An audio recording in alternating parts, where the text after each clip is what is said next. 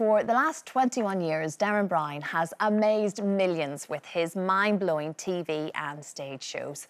He also is a best selling author, and his latest release, A Book of Secrets, is out very soon. And he joins us this morning. Good morning, Derren. Thank you for joining us. I've got the book right in front of me, A Book of Secrets. And it's a very personal book with a lot of uh, your own experiences in it. And I believe lockdown kind of allowed you to focus on what you really wanted this book to be. yeah, well, I, it's always, I'm very interested in how we navigate through a world that is difficult and complex and it doesn't always conform to our wishes, um, no matter how optimistically we you know, set our goals and believe in ourselves and so on. Because the trouble, I think, with that that optimistic mantra is that when it lets us down and we face tough periods, which you know, of course, we do, we you know can feel it must be our fault, and then we've got a feeling of failure, maybe to add to a to a list of, of problems already. So, in this book, I write about how we can make peace with a with a stubborn and difficult world, and then through that find uh, places for compassion and and kindness. And um, and yeah the sort of you know the difficulties of, of, of lockdown were a, a, good place to explore all of that. of course. And you, you try to, to explore a very interesting concept of that when you are alone you are quite often very much connected to others in that moment but you certainly don't feel it. Yeah well actually lockdown was a, a very kind of literal demonstration of this. So um, life i think is sort of centripetal like it pulls us to difficult center points. Um, and when we're in those places, it does tend to feel very isolating, and then we can feel lonely and disconnected and panicky and so on. But the the interesting thing is, is that it's like at those times we are experiencing like the real, the weight of life, like the actual, the human condition. So it is, it is the one thing that connects us yeah. to everybody else if we just lean into it a little, a little differently. Um, and it sort of takes the, it takes the sting out of it. I, I think basically we sort of live a life where we've got all these forces pulling us one way of our aims and the things we want to achieve, and then there's forces pulling us the other way, which are like just stuff that life throws back at us, what they used to call fortune.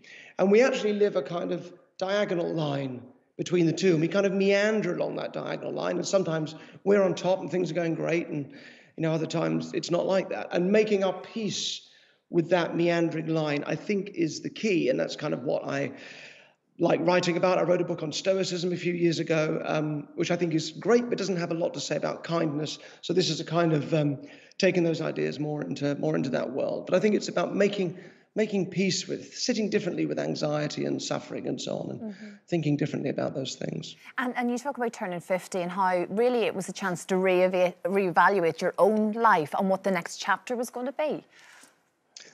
This is really for David Walliams, of course, but um, yes.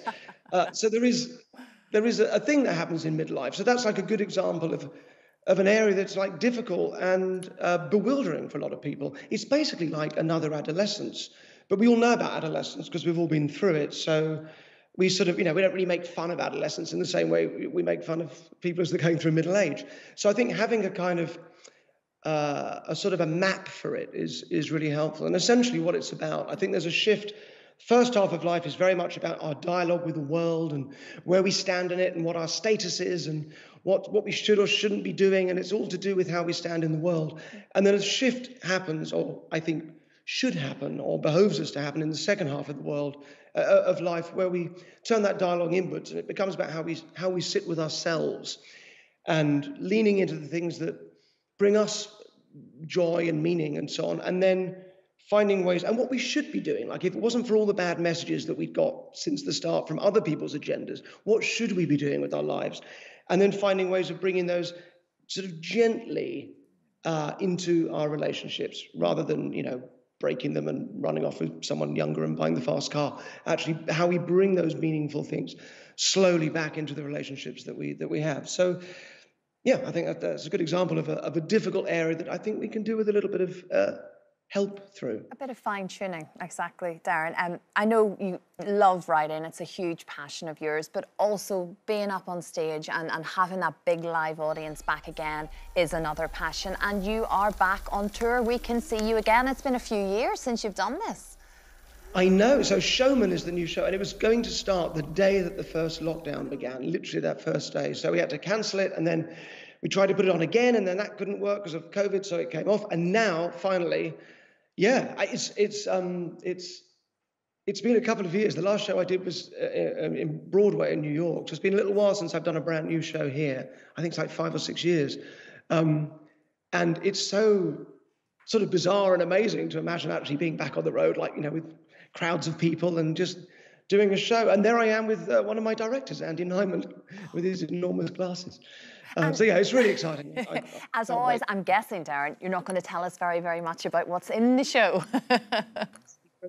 more secrets, but it's um, a lot of audience participation. I throw frisbees out to choose people. So if you don't want to join in, that's fine. You pass the frisbee on. There's no pressure. Um, but it's it's also again a show about I think the things that bring us together and uh, and you know I try and make the shows about the audience. That's always been important to me. So they're not they're not about me. I'm not that interesting. It's a show about about about the audience and it's about what you kind of go through there and your your your your your own experience, which is kind of my toolbox. And I've always I've always felt that the stage is a is a great place for that. It's different on TV. You never really know you know the reality of what you're seeing, but stage where you can get involved or the person next to you or whatever, and you're seeing every element of it.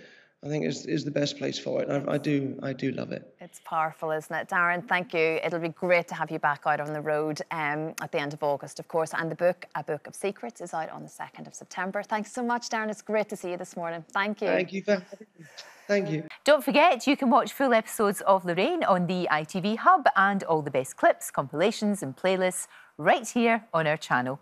Just subscribe now and you'll never miss an upload. Click here to watch another video similar to this one, or click here to head to our channel's homepage to explore all of our exciting videos.